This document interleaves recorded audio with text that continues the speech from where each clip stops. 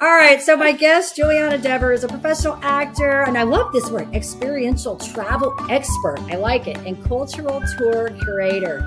In the last 25 years, she's traveled all over the world. Her award winning travel blog, cleverdeverwherever.com, helps readers find unusual experiences in unexpected places.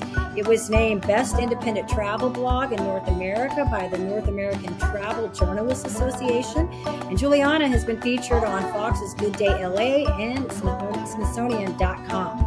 Here's the other cool part. As an actor, she's best known for her role as Jenny Ryan on the globally popular show Castle and as Rachel Hawkerson on 911. So, Juliana, welcome to the show. I'm so excited to have you here. Thank you. This is so much Yeah. fun.